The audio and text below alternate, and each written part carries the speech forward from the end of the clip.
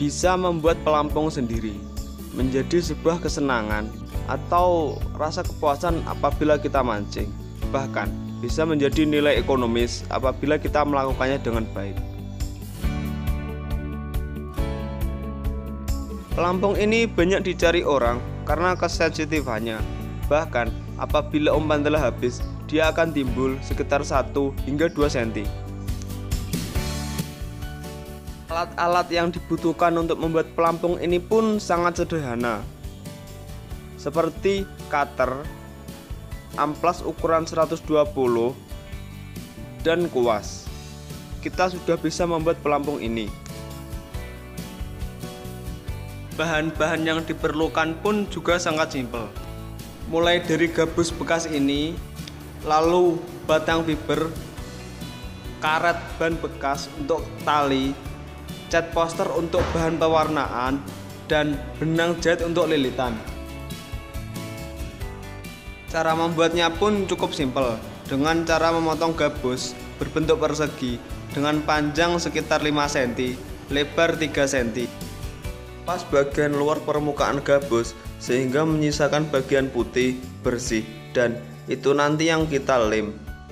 Seandainya tidak dikupas, proses pengeleman tetap bisa dilakukan, tapi hasilnya tidak begitu bagus. Lakukan pengupasan kepada semua permukaan gabus dan pastikan semua permukaan telah terkupas dengan sempurna. Setelah itu, tumpuk potongan gabus dan pastikan kedua potongan itu memiliki ukuran yang sama. Ini akan mempermudah untuk melakukan proses selanjutnya. Untuk batangnya, saya memakai fiber sekitar diameter 1 hingga 2 mili.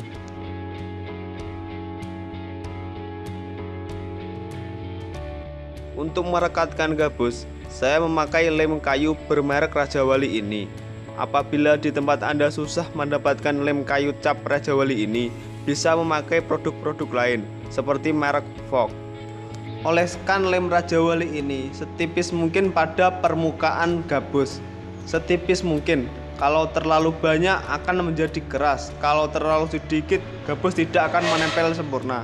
Ingat, kedua permukaan. Kalau cuma satu permukaan, nanti menempelnya tidak begitu sempurna. Di sini, saya mengoleskannya hanya dengan menggunakan tangan. Dengan alat bantuan pun bisa dilakukan, tapi lebih sempurna dengan menggunakan tangan. Pastikan semua bagian terlapisi oleh lem ini agar proses rekatnya benar-benar sempurna dan tidak ada yang terkelupas. Apabila proses pengeleman dirasa cukup, tempelkan batang fiber tepat di tengah-tengah potongan gabus. Tepat di tengah-tengah, jangan sampai melenceng. Lalu tumpuk dengan potongan satunya yang tentunya sudah diberi lem Lalu tekan kuat-kuat agar mendapatkan hasil rekat yang maksimal. Apabila dikiranya susah atau ribet mengikuti tutorial yang saya tunjukkan, teman-teman bisa mendapatkan pelampung ini seharga Rp6.000. Pelampung ini dilengkapi dengan swivel yang bisa berputar atau tempat senar yang bisa berputar. Bulan daripada swivel bisa berputar ini adalah senar tidak ikut berputar apabila pelampung berputar terus-menerus sehingga senar tidak mudah ruwet ataupun terpelintir. Pelampung ini terbuat dari bodi plastik yang sangat keras sehingga tidak kusut dalam jangka waktu pemakaian yang sangat lama. Batangnya terbuat dari fiber yang kuat dan lentur sehingga tidak mudah patah memiliki panjang 18 cm.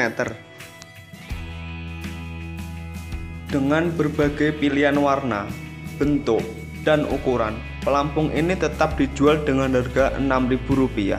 Untuk membelinya, link Bukalapak sudah saya tulis di deskripsi dan jangan lupa mencantumkan nomor pelampung sebelum memesan.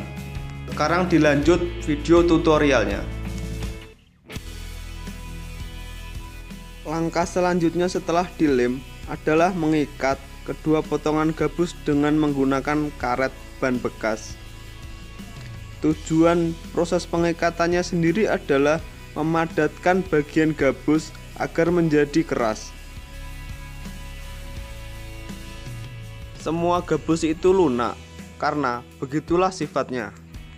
Tujuan utama diciptakan gabus ini adalah melindungi barang-barang dari benturan saat proses pengiriman sehingga barang tidak rusak ataupun pecah.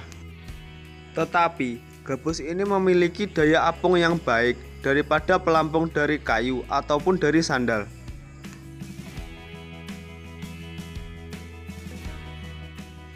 Maka dari itulah proses memadatkan gabus dengan mengikat dengan tali ini saya lakukan. Semakin kuat kita mengikat, gabus yang tercipta akan semakin keras dan juga penyusutan gabus akibat terlalu lama dipakai di air akan juga semakin kecil sehingga pelampung akan semakin tahan lama. Setelah proses pengikatan gabus selesai, Biasanya saya diamkan selama satu hingga dua hari, tergantung kuat kita mengikat gabus ini. Semakin kuat, maka hasilnya juga akan semakin lama. Setelah dua hari berselang, menyusut sekitar 50 hingga 70 persen. Bisa kita lihat, gabus yang tadinya berukuran 4 sampai 5 cm sekarang tinggal berukuran 2 cm. Setelah karet pengikat terlepas sempurna, akan kita lihat betapa menyusutnya gabus ini. Untuk proses selanjutnya adalah memotong gabus ini dengan menggunakan cutter. Saya sarankan menggunakan cutter atau pisau yang baru dan tajam. Karena selain keras, gabus yang sudah diikat ini akan menjadi kenyal dan susah untuk dipotong. Saya sarankan bentuk gabus meruncing bagian bawah agar nilai kesensitifannya tinggi dan berfungsi secara maksimal. Dan yang tidak kalah penting, buatlah pelampung sesuai dengan berat timah yang kita akan gunakan nanti. Sehingga apabila terjadi putus, kita tinggal mengganti timah tanpa perlu menyetel pelampung lagi. Setelah proses pembentukan selesai, hal yang saya harus lakukan selanjutnya adalah mengamplas.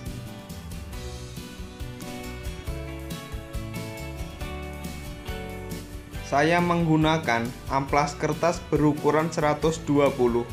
Saya menggunakan amplas sebagai pengganti mesin bor atau mesin bubut. Jadi, semua orang bisa mengikuti tutorial saya ini tanpa harus meminjam mesin bor atau bahkan membelinya.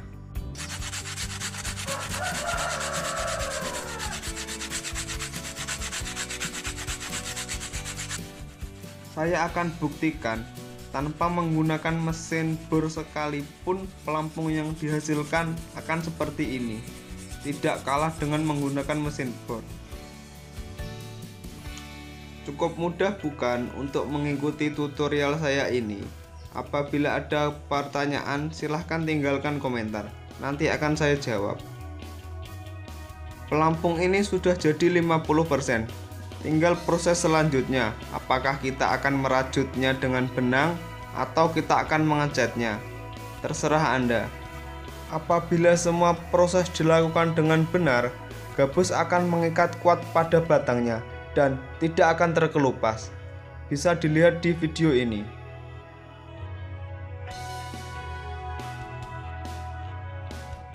Saya akan mulai menjelaskan tentang proses rajut dengan benang jahit terlebih dahulu, kemudian dengan cat poster. Lilit benang jahit secara melingkar mengikuti pola yang sudah dibentuk. Lilit secara ke bawah dan juga ke atas secara menyilang, bergantian satu per satu. Apabila kita proses melilitnya benar, akan menjadi pelampung seperti ini. Tinggal menambahkan satu, dua, atau bahkan tiga warna lagi untuk melilitnya, sehingga menjadi pelampung yang sangat indah dilihat. Memang, proses lilitnya sangat rumit dan membutuhkan waktu yang lama. Tapi, saya yakin pelampung lilitan benang ini bahkan belum dijual di toko-toko. Perpaduan yang pas akan menambah nilai eksotik pelampung ini. Sengaja saya memakai benang jahit ini untuk melilit pelampung. Selain harganya murah, juga banyak dijual di toko-toko.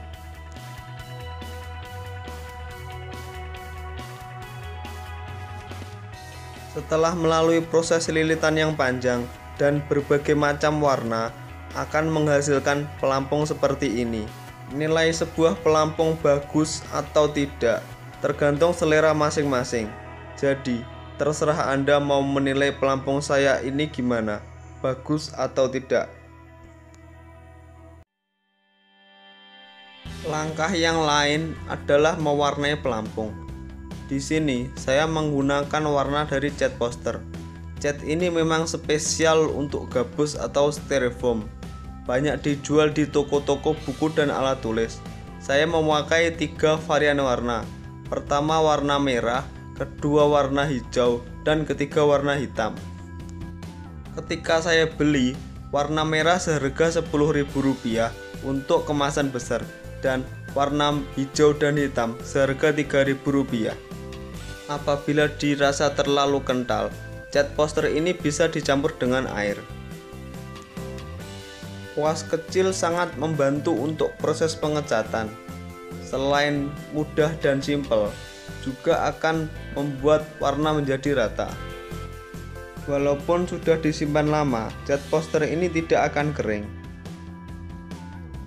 Oleskan sedikit demi sedikit cat poster pada permukaan gabus tipis saja jangan terlalu tebal nanti bisa dilakukan pengecetan hingga 2-3 kali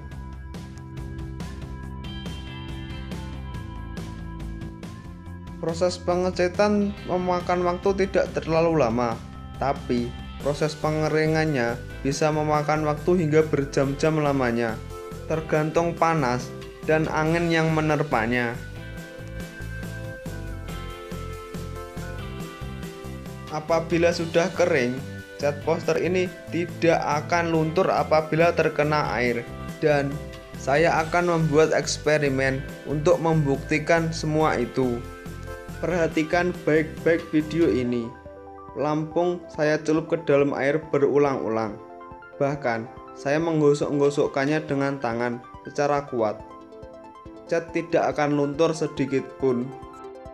Jadi, Anda tak perlu khawatir warna dari pelampung ini akan luntur.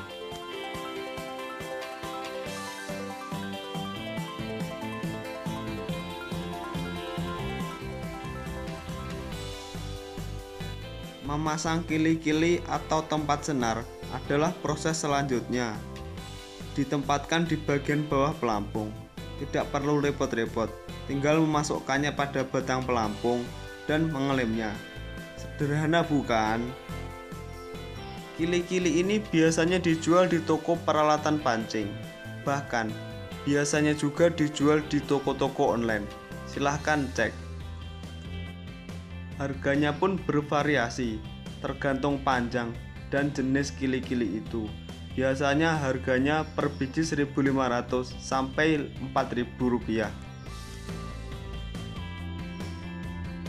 Langkah selanjutnya adalah pengecetan antena atau indikator pada pelampung. Akan menghasilkan pelampung seperti ini. Mudah bukan? Siapa pun Anda dapat melakukannya. Dengan kegigihan dan kesungguhan, saya sangat yakin Anda bisa membuat pelampung seperti ini. Jangan lupa di like ya videonya kawan. Sekian dulu dari saya. Apabila ada yang kurang jelas atau pertanyaan, silahkan tinggalkan di kolom komentar. Kalau ada waktu, saya akan menjawabnya. Terima kasih telah menonton video ini. Jangan takut gagal, jangan takut berusaha. Ingat, yang profesional berawal dari amatiran. Saya Aris Alkavista dari Tulungagung.